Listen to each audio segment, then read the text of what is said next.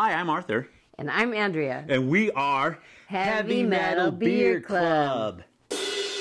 And today we are going to talk about Harbottle Brewing Company from Tucson, Arizona. Now, we didn't plan on doing a show today. We just ventured out to go taste some beer and decided to go to Harbottle Brewing Company because we love their beers. And when we got there, we got the camera going. And then uh, Andrea went in and talked to Mike, the owner and also brewer. So he spoke with us and told us a little about the beer and the brewery and what what he's all about, and we'll share that with you today. And Mike is a metalhead at heart, so we had a lot to talk about. So this will be a lot of fun. And like I said, this was an impromptu uh, show. I was going to say session. This was an impromptu show. So our audio is uh, we recorded outside. So bear with us. Stick around. It's going to be fun. And music.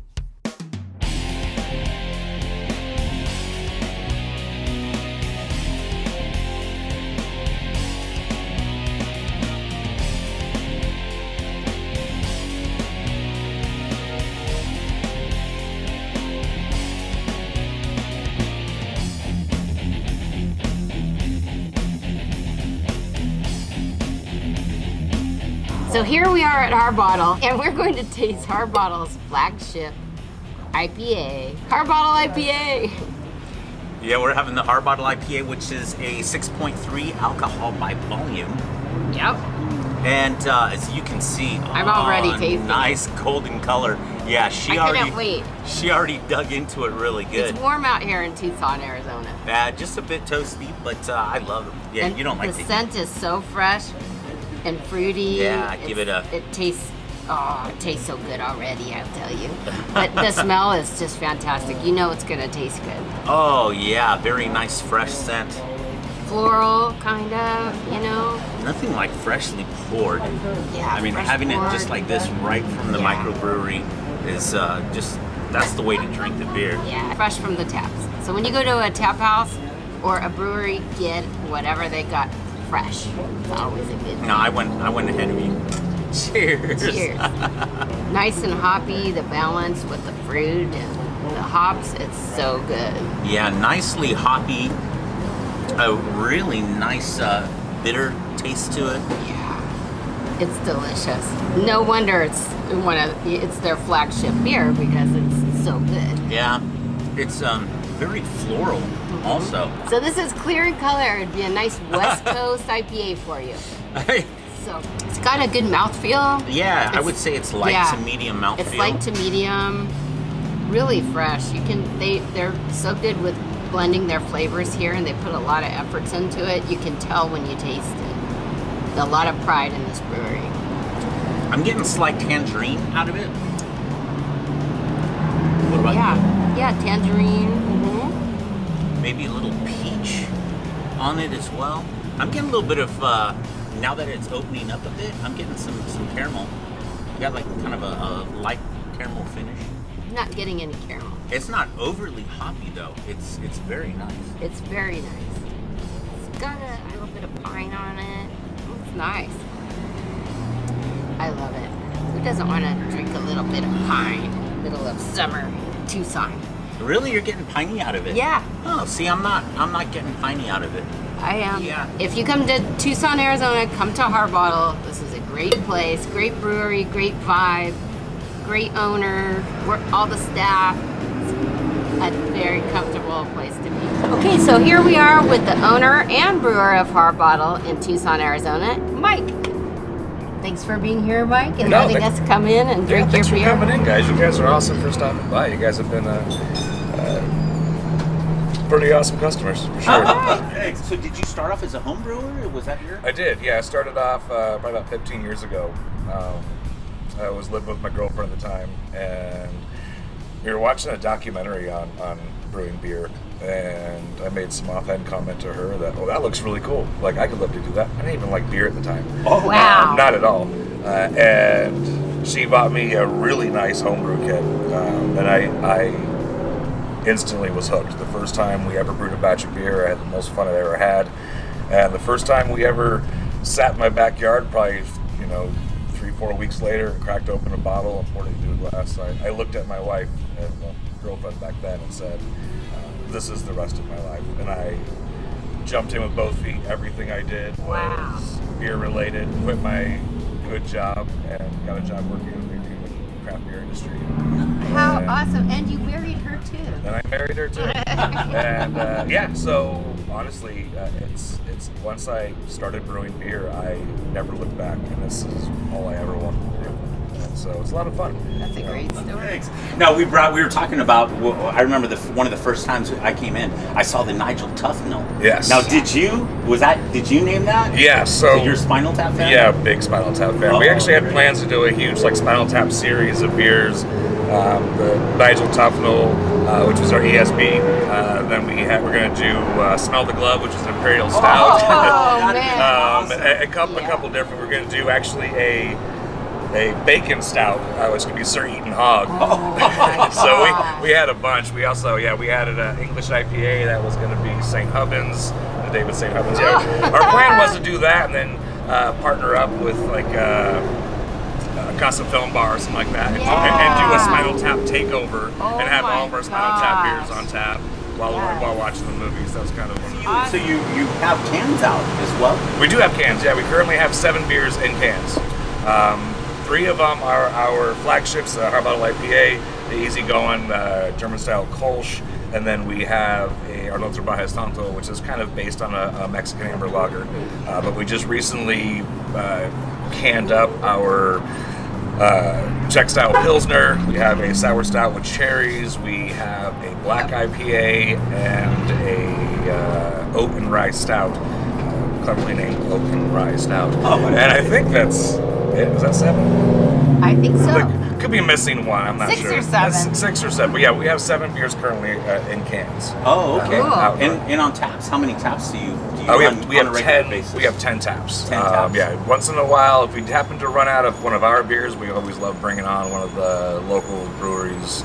Um, we like to support each other, so we always have. If we happen to run out, we'll bring in like Moto Sonora or Button or 1912 or Oh, Coppermine, one, nice. one of our neighbors. That is know, so cool. And try we and love support that them. Have a guest camaraderie that you guys support each other. It's just that's Tucson, Arizona Yeah. too. Yeah, they've all I don't done the know same. if they do that everywhere. Yeah, I've, I've gotten calls from Alan at 1912 being like, hey, you know, can I have your brown ale? I need, you know, I need something malty to fill my taps. He didn't have anything. Wow. Uh, I know for a long time, Button Brew House had our cans in their cooler. Uh, actually, so did 1912. So, you know, yeah, we do love to support each other. That's sure. awesome. Yeah. That's the way it should be. Hell yeah. And See, then the- happiness and beer. Are you Yeah. a metal guy? Or you like? Oh hell yeah! Oh, yeah, no. I, I, I played I played in metal bands. I mean, I picked up a guitar probably about twelve or thirteen years old. Oh, uh, nice. Obviously to impress a girl. Ah. uh, and quickly got into playing in metal bands all through all through high school and after. Uh, st- I probably stopped playing. I think the last show I ever played uh, was 2008. Actually, I kind of wow. kind of hung it up. And but yeah, it was a lot of fun. Played in a lot of really really awesome metal bands in Tucson for sure. Got to play a lot of really awesome shows with other great bands. So yeah, definitely a metalhead at heart. All right. Who you listen we knew to? we Who do you- loved you. do you love? Uh, well, I'm still old school, so I still listen to a lot of uh, Metallica, old Metallica, anything pre-Black Album. I really, I really do love Sevendust. Yeah. Tool's probably my all-time favorite band. Oh, Uh, any, anything Maynard touches, I love. Uh, so Puscifer, Tool, Perfect Circle, absolutely. Oh, nice, Uh, nice. But yeah, I tend to, I tend to lean more towards the old like '80s like speed metal, and. Um, Yep. my, my roots are really kind of like set in the 80s hair metal. Oh when, yeah. when, when, us when guitars were kind of like the That's- forefront, everyone knew the guitar guitar player's name, Oh, but we're you couldn't tell who the, who the lead singer was. Half And then you have that, that sour that's called the drop two. Drop two. Is that yeah? yeah, definitely, obviously a music reference. and we, we, were, we were making that beer, and uh, the, the reference kind of came around. I was talking to a buddy about it, and uh, you know, when you, when you play in a, like a drop tune like drop D or Yeah, something like that, yeah. usually shit's about to get like real heavy, real dark, Yeah. real, real badass all of a sudden. Yeah. And so uh, we were making this beer, and it was just like. It's a crazy beer, you know. It's a stout. It's sour. It's got cherries and vanilla. It's just like We've here. tried it. It's like It's here, hold my beer. You know, this shit's about to get real. Yeah. And Oh, yeah. uh, so that was kind of, uh, you know, it just drop tune just kind of hit me with that one. It was That's like, a yeah, perfect this- name. yeah. So it's a really cool beer. It's going to be a seasonal for sure. Um, we're just about out of it. We're on our last keg of it right now, and the last few cases of beer, Wow. uh, in cans. But we're, we're going to bring that one back. It's Nice. good. We tried it. It's Yeah. good. Every time you were naming a beer and I was going like this, I'm like, tried it, tried it, Yeah. liked it. So do you brew here? Do you have We brew uh, everything on setup? everything on site. Yeah, we have a, a seven barrel direct fire brew house. Uh, just running two bright tanks and five uh, fermenters. We actually bought uh, uh, Fate's old brew system up in Scottsdale. Oh, so the okay. the last day they were Fate Brewing Company who went up there bought it off Steve McFate, and then. Uh, now they're they're actually Fate again, but they, so they went Wow. back from Fate to McFate and then Fate. Uh, so I don't know what you want to call them, but they're always Fate to me. And uh, we bought their old system when they upgraded to a 30 barrel. I think we bought their seven barrel off of them. And we were brewed on that, and then brewed on on site. Wow. Yeah, 100 feet away. I love that. You gotta love Fantastic. that. When everything's brewed on site, it can't get fresher than that. No. We, we tried your Pilsner the day you opened it up. Yeah. And it is that good. well, you guys tried it before it was even ready, didn't Yeah. you? Oh yeah, Yeah, it- that's it was right. still- it was still yeah, a fermenter. Yeah, you Yep, brought it yep. out to us. That's Yeah. right. Yeah. yeah. Yeah. This is one thing I love to do. I get excited about beer. People hear, I'm like, "Oh, we gotta try this." Oh. Oh, that's Use your imagination. You know, it's cloudy, it's flat, it's warm, but it's gonna be great. Yeah. Oh yeah. Yeah, we- it's kind of we like the share that pre-mix. You enthusiasm. know, when you're doing a demo tape. Yeah, exactly. It's like just think about this is the rough draft. Yeah, yeah. it's always fun to see, you know, how the beers progress. So, Yeah. You know, we're tasting beer every step of the way, every day, every morning. We're, we're checking gravities, Oh, tasting the cool. beer, making sure it's, you know, progressing the way we want it to be. So after time, you really get good at imagining where it's going as well. Yeah. So some people go, "That's disgusting," and I'm like, "No, that's You great. know. It's gonna be great." You know, it's yeasty, it's weird, it's bitter and harsh, but Yeah. it's gonna be good. That's I love that. Now that's a Oh, fun so job. fun. It is a fun job. Yeah. Well, thanks, Mike, for being here today No, thank you, on guys. Heavy Metal Beer Club. See, you come to the local breweries, you get to meet these cool, you get to meet the owner and brewer that are here, and it's just an awesome experience. So get out, get to your local breweries, and give them some business. Now that you can come out, if you've, you know, I always say that if you've had your vaccine, you really don't have to worry. I know it's not for everyone, but hey, it's for me. And it's such a bummer that uh, during the COVID time we lost a couple of our microbreweries. So it's really nice that the ones that did survive, yeah, please get out and definitely support your uh, local breweries and uh, the beer culture. And don't forget about your beer tenders. Here I am. And don't forget to tip your beer tenders. Don't forget to tip your beer tenders. Thank you so much for your continued support. We really appreciate it. And cheers to you. If you ever have a brewery to recommend in your neck of the woods, let us know because we will be traveling more as time goes on. Oh, let yeah. us know. Yeah. Send us a message. And thank you so much for joining us here at Heavy, Heavy Metal, Metal Beer, Beer Club. Club. Please stay safe, drink responsibly, Responsibly, and don't forget to stay metal.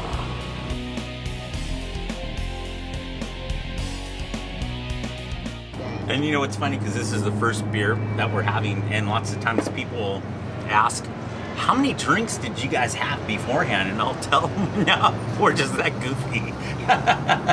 we didn't have any drinks before. you tell them I am. And, and this is this is a case also.